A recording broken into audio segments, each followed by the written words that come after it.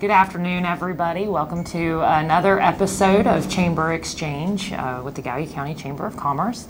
Uh, today we will hear from two guests from our membership, um, but we just wanted to, before we get started, give a little shout out to some things that have happened locally.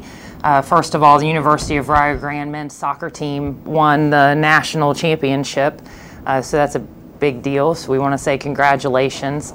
And uh, also, we just received word yesterday that Ohio Valley Home Health was uh, named one of the top 100 home health agencies nationwide. And we also want to congratulate uh, Megan Wise for being crowned for Miss Ohio. We think that's a great thing for our area, and of course, a great thing for Megan. I know she's been uh, working on it for many years. So, and also uh, Police and Lights if you have not taken a drive through Gallipolis at night, then uh, you know we suggest that you do that. Uh, it's just amazing what a small group of people can do. Uh, they've brought the community get together, the businesses together, um, to just really I guess, decorate is what I would think the downtown area for Gallipolis. And I have already heard reports from across the river that you can see it from Route 2. So if you get a chance, drive through Gallipolis at night. Uh, also, um, a couple things that the Chamber has really been focusing on. Well, one thing in particular is the Fair Labor Sta Standards Act. Uh, we have had two trainings on it. There's some changes that are going down or coming down the pike uh, that we are looking at very closely. So we've had two trainings uh, recently, and uh, one was just on FLSA, the other was on changes that they are proposing that would affect exempt and non exempt statuses. So we're going to keep a close eye on it and we'll be letting our members. So uh, that that's some of the uh, shout outs, I guess, we want to give right now and uh, thank you for joining us for our December episode. Um, 2015 is drawing to a close, so we are very much looking forward to what uh, 2016 will bring. Uh, we've covered a lot of ground this last year um, annual dinner, Business and Tourism Expo, legislative event, quarterly First Fridays, ribbon cuttings, business after hours events, River Recreation Festival, that's a big one. uh, we launched a new website this past year, um, and for the first time in for 2015, we promoted Small Business Saturday, and the chamber actually created a sales uh, flyer that went out into 10,000 newspapers featuring local sales uh, for Small Business Saturday and we also had a scavenger hunt that was very successful. Um, so thank you to the businesses who participated and to those in the community who participated. We will be doing the scavenger hunt again next year. Um, people really seem to like it. I believe we gave away 15 prizes. Mm-hmm. There were 15, 15, businesses. 15 different businesses that gave away gift cards and prizes uh, to participants. Um, with 2016 on the horizon, we will continue improving and expanding our member services at the Chamber. If 2015 is any indication of what's to come, I'd say we're in for another productive and busy year in 2016. Um, basically, we just want to say thank you to our member businesses and our community for your support and involvement and wish you all a very Merry Christmas. So, uh, with that, uh, we'll go ahead and uh, turn over to our first guest. Debbie Saunders with the doctor. I always have to, because I always call it Bossard Memorial Library, so I always want to make sure that I get it. It's the Dr. Samuel L. Bossard yes. Memorial Library. So, uh, but Debbie Saunders is the director of Bossard Memorial Library. Um, it's a service I'm sure a lot of us use. So she's here today to talk about some different things with the library. And I think first up, uh, you were going to talk just overall the importance of having a library card, correct? Yes, Michelle mainly what I always love to share with people is that uh, your library card is actually the smartest card in your wallet. Um, with it, you have access to not only books, uh, bestsellers, fiction, nonfiction, all of these type of items, but also uh, ebooks. Uh, our new Gale courses, which we'll talk about soon, those are online college courses offered to you by Bossard Library. Um, but a lot of times people traditionally think of the library as being the place to go just if you had that school assignment. And even though uh, we are still uh, there as a resource for students, absolutely, um, it's also for the whole community as we serve as the community center of Gallia County.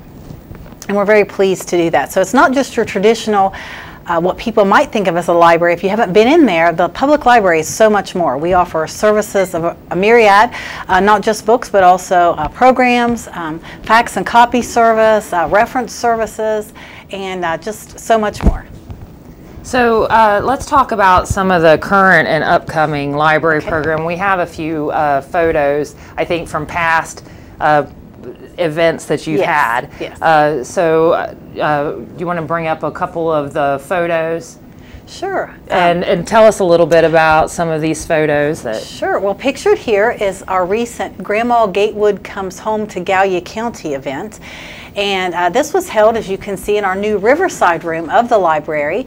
And this was a special event for our area because of just uh, Grandma Gatewood uh, was actually a local celebrity in her day, we know, um, because of uh, her hiking the Appalachian Trail and all she overcame in her life. So this was kind of a celebratory day uh, for our county. And this was the one act play, and you'll see the actress there who portrayed Grandma Gatewood. So, so this was, was, a one act play yes, that it went was. on in. Mm-hmm. And followed by the documentary, Michelle. So uh, very well received. We had about 175 people in attendance that day. Okay, great. Yes. And then, oh, this was a very fun event. This was our Breakfast with Snoopy. Um, actually, September was National Library Card Sign Up Month. But I want to remind all of our listeners and viewers that every day is a good day to get your library card if you don't have one. Uh, but here is our breakfast with Snoopy, and you can see Snoopy back there in the background, kind of to the left behind some of those balloons. And we invited families to come in and, uh, as a character breakfast. Um, we know that a lot of people in our community may not have the opportunity to go places such as Disney or, uh, let's say, Kings Island or places like that that might offer these character breakfasts. So we wanted to bring it to uh, Gallia County and host it at the library with none other than Snoopy, who was the honorary chair for National Library Card Sign Up Month. Okay, that's great. Oh, and here we have a visit from the Columbus Zoo, and you can see the crowd there and the stage there to the right that had uh, different animals uh, on the stage that were brought from Columbus there at the zoo. And we had crafts that day, uh, face painting. Um, of course, you can always sign up for a library card. That's my plug today. Uh, but also, uh, you can see again, the, uh, you know, the, the, crowd that we had gathered that day. They were parked all over Gallipolis, and that's what we want to see. Um, now, this next picture, this was also held in our new Riverside room here just this fall. this is our Spinosaurus encounter, and this was brought to the public by by the Carnegie Museum of Natural History out of Pittsburgh. Again, a wonderful institution that a lot of people in Gallia County would not have had the opportunity to maybe go visit because of maybe economically they could not, or maybe time constraints. Uh, we brought uh, part of that museum to Gallia County in bringing this life-size Spinosaurus, and the kids loved adults did too. It made for great photo ops. We also had replica fossils back in the back of this room so people could do some hands-on activities with that as well. And so uh, we always plug the literary element of that as well, so we have books on the different subjects of our programs to make sure that we always keep a focus on reading and learning. Uh, okay, here is when we had our summer reading kickoff, just back, past the summer of uh, June here in 2015. Uh, we had Batman. You can kind of see Batman to the left there behind one of those columns, and there's a picture of uh, Batman and the Batmobile. Uh, we also had Spider-Man um, at the library that day also Batgirl. So this was a way for us to kick off our summer reading, and the theme was Every Hero Has a Story. And so we kicked it off with these superheroes that had a very positive message for uh, attendees. And uh, we also give students the opportunity to earn prizes all summer long for reading.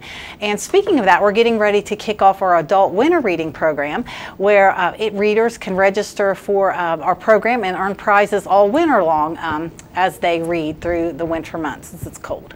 So there's a lot, obviously, that goes on at yes, the library, um, mm-hmm. it, and a lot of different programming, like you said, ranging from yes. kids to adults. The yes. Grandma Gatewood is a really interesting story. I would oh, definitely uh, recommend anybody look into that. Uh, when I first, she was the first woman to hike the entire Appalachian yes. Trail, correct? Yes. yes, and she did it multiple times and um, when she was up in years. And she also overcame a difficult home environment. Um, in her, you know, her past life, so she just didn't give up. She's a true testament to the strong-willed woman from our area. So. So, what do you feel the library's role is in Wow. Gallia County? Well, uh, Michelle, um, you know, as the community center of Gallia County, and that's what we strive to be through programs, through the services we provide, uh, through meeting room space. Um, the, these programs I'm describing, just it's kind of the one-stop shop for all of those community needs. So, again, we just like to refer ourselves as the community center of Gallia County.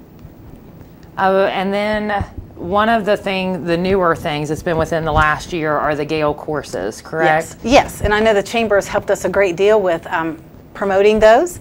And if you're not familiar with those, with your library card, uh, you can log on through our website and actually take online college courses led by, of course, college instructors, free with your library card. And this, these six weeks course, um, there's a- myriad, hundreds of different subjects you can take. Um, sign language, Microsoft Office, um, digital photography. Uh, they just, I could go on and on about all the things that you can take through these Gale courses. And so uh, all you need is your library card. And if you don't have one, we encourage you to come in and sign up for one because you really are missing out on all these wonderful programs if you don't have a library card, um, these services that you can access online. Well, and I can say we've uh, both checked out the Gale courses online, and it's really neat. I mean, there there are a wide range of courses on there, um, and they start every month, correct? Yeah, yeah, and we have, And- a, yes, Michelle. mhm. Okay. And we have a local institution who also is using this for some of their employee training. So I know that would be of interest to the chamber as well because you help all of our area businesses. So for employers out there listening, it would be a great way to do some college level training. Uh, and all the participants have to have is their Bossard library card. Well, uh, we have a few more minutes left, so Okay. I was going to check to see if you wanted to talk about any upcoming events or the ebooks, uh, anything else that you would like to talk about. Sure. Uh, also, with your library card through our website, you can access the Ohio Digital Library. And the Ohio Digital Library gives you access to free downloadable ebooks. Um, periodicals or we'll say magazines um, all different popular magazines and also videos. And so uh, again all you need is your library card to be able to use this service. Uh, the other thing i wanted to kind of plug before my time's up here today is our upcoming programs and many of you have probably seen in the stores or in um, the artistic guilds and things like that is the rise of adult coloring. So these intricate coloring designs that you can do. So on January 9th, we have our adult coloring event. Uh, we've titled that Color Me Happy. And it'll be January 9th at 9 o'clock at the library for adults only. And you'll be able to come in and uh, participate in this coloring and um, fellowship with other people, make new friends. We'll have refreshments. You can enjoy light music. It'll just be a good time, uh, a good social time to relax, to kind of get away from it all. Uh, we also, um, Michelle mentioned um, how proud we are of Megan Wise as our Miss Ohio USA from Gallia County. We will have her as our special guest on January 10th as we have our Winter's Tea uh, with Queen uh, Megan Wise. And so she'll be reading um, to the crowd, but it'll be a nice tea that day, so all ages are invited. It'll be a good opportunity for our youth of our community to see someone that's excelled at this level. And we're looking forward to later in the year our Newport Aquarium visit. Again, that's part of our mission to bring things to Gallia County that others may not have the chance to travel and go see. We want to bring that home to Gallia County. And also, uh, Ohio Chautauqua returns in the summer of 2016. So we're very excited about that, and we're already working on that event as the library is a big partner in that special week in Gallia County. Thank you very much. And thank you for everything that you do for the community. I know you all are always busy trying to Mm-hmm. find different things to bring to Gallia County that maybe people aren't able to see. So thank you. Thank you. Uh, next up, uh, we have uh, Shayna Chapman, and she is the owner. She's the owner of uh, Shaynaco She's also the recipient of the CPA Practice Advisor magazine um, as one of the most powerful women in accounting for 2015. Correct. And uh, we uh, are happy to have her here. She's going to talk about a, di- a, a lot of different things, ranging from her business to the award uh, to uh, some different community activities. Like many small business owners, she is involved in a lot of the activities. Welcome. Hi. We're happy to have you here. Well, thank you for having me. I really appreciate it. This is um, this is uh, just a flattering opportunity to come out here and talk to you guys today. Well, we appreciate it. Yes. So maybe you could just open up with telling us and our viewers and listeners a little bit about yourself. Sure. Um, so I'm Shayna Chapman. I am a CPA in Gallipolis, Ohio. I uh, have a CPA firm, and I'm also what is known as a certified information technology professional and a chartered global management accountant. And so, what that means is that beyond just being a CPA or in the um, traditional roles of accounting, I also participate in um, in doing. Uh, I also participate in helping businesses with their technology and, and, and setting that kind of thing up and understanding infrastructure within their businesses. Um, and on the global front, uh, with the Charter Global Management Accountant designation, um, I have a background in Japanese studies. It was my minor concentration, spent time at school in Japan and Tokyo. And so I came out doing a lot of Japanese manufacturing uh, clients. And so that gives a knowledge of how the world works as a whole, which is really important these days because nothing really, no business is really just where its geographical location is anymore. So it's important to understand what's going on globally as well as in your own location. So with your practice having such a far reach uh, nationally and globally, tell us a little bit about your home base in Gallia County. We know that uh, the, the face is behind the scenes. Sure. Um, I have anywhere between three and five staff. As you know, as being a CPA, we go through a tax season.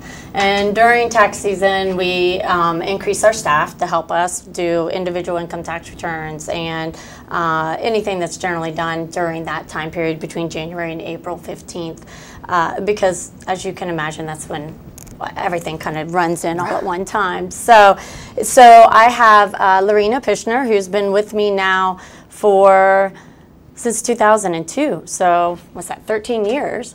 And Lee Knox, who um, is my administrative assistant and also my payroll tax guru, and she's been with us for over five years now and both of them long-term employees very very knowledgeable. And i sometimes have to run to them to ask questions because they're at the point now where where i don't i can't know everything. So i have to depend on my staff and that's why i hire them because they're good.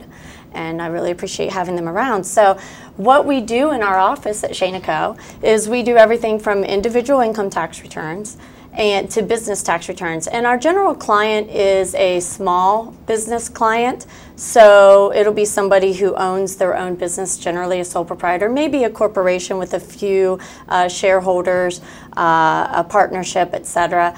And then we help structure those businesses. We can take that from anything from uh, the setup, the entity setup. What do you want to be? Do you want to be a partnership? Okay. An S corporation? Should you be a sole proprietorship? And sometimes we have to consult attorneys, our local attorneys, all of which are very good.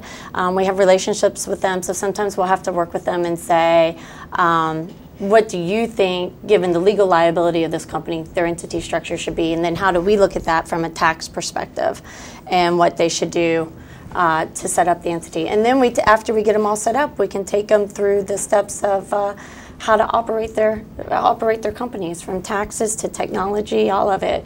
Um, and there's so much to be done when you own a company. So you basically take them from an idea to and get them set up from yeah. from the beginning, and so that when they go to file their taxes, they're under the right.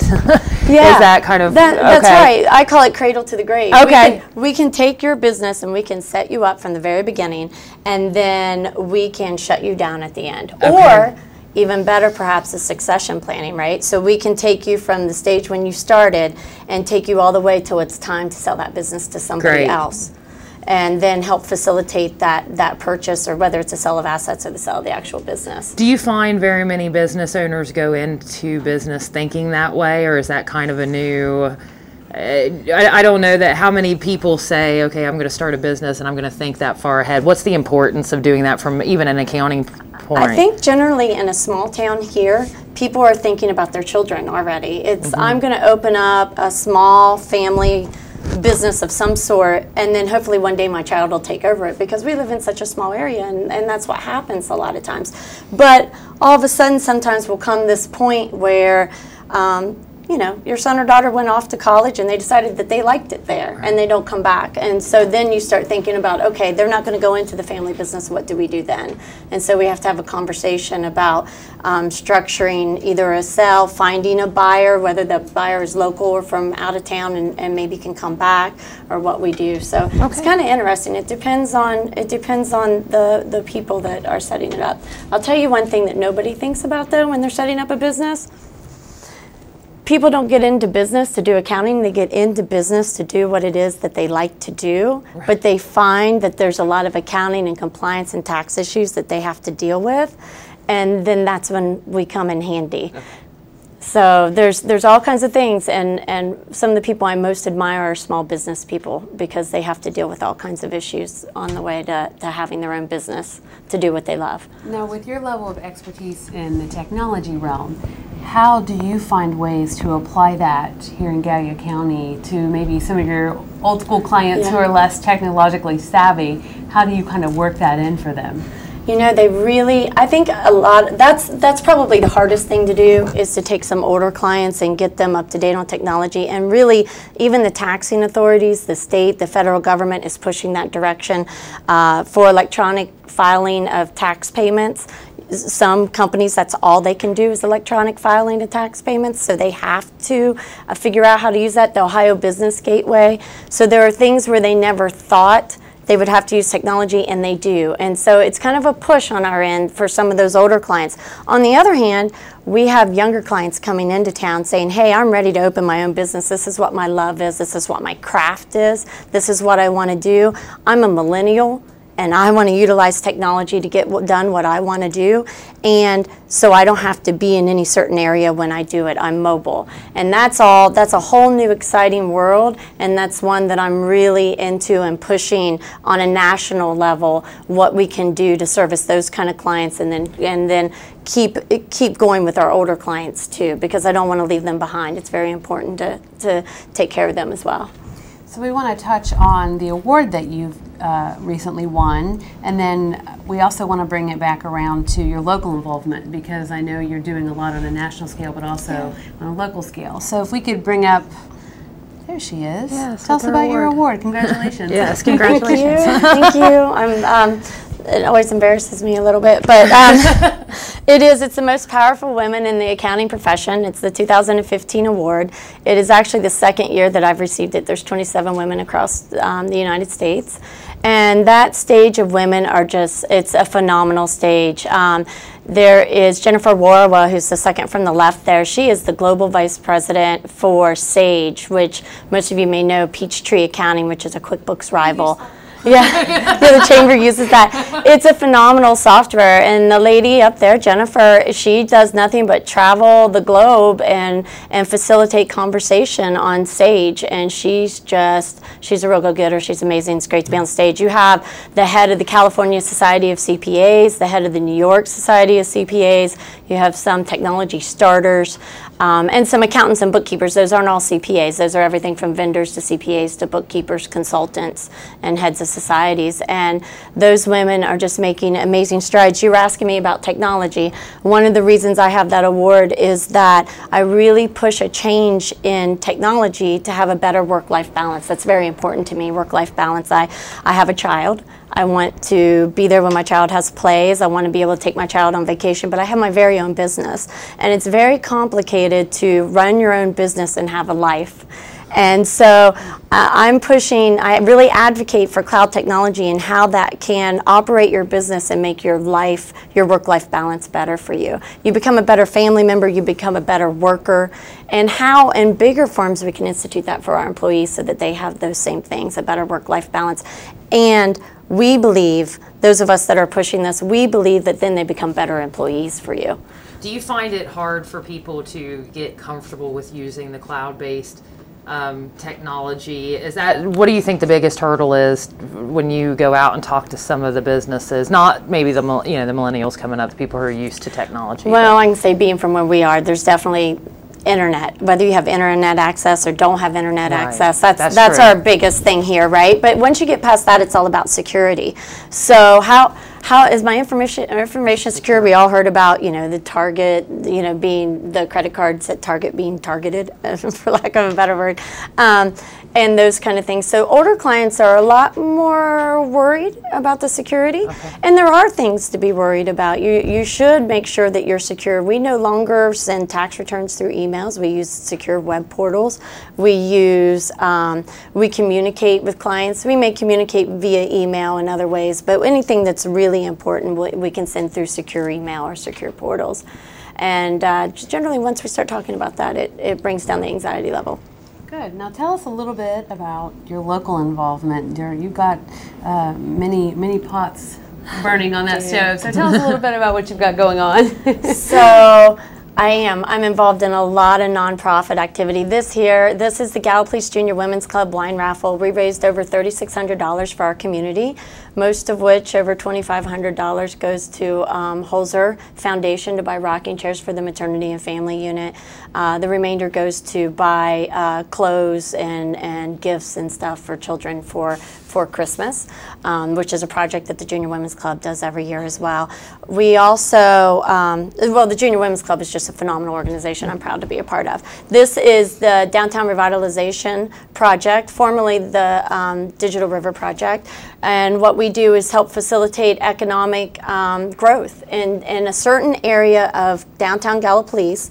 But the idea behind designating that area is that then that growth, if you can make a change on a block or two or three blocks, then hopefully that expands. And, and then you have a change in the entire county eventually. But you have to make a noticeable change in one area for all of it to happen. And so the Downtown Revitalization Project, uh, we've really worked to bring in businesses, and we've got quite a few. Yeah, there's a lot going on in downtown right now, um, and a lot of it is with the help of DRP. I mean, you all have done a lot, from grant funding to help with equipment to getting a business in. So I just want to say I think uh, DRP is a great organization, and it's all volunteer, correct? It is all volunteer, and the people on the board, there's an amazing, each person on that board has a specific skill set that allows that board to to achieve their purposes. And the grant funding and the help is, is made possible through the biz, local businesses. local correct? businesses, many of which are chamber businesses. Our, our Right. local chamber population is just fantastic for our community.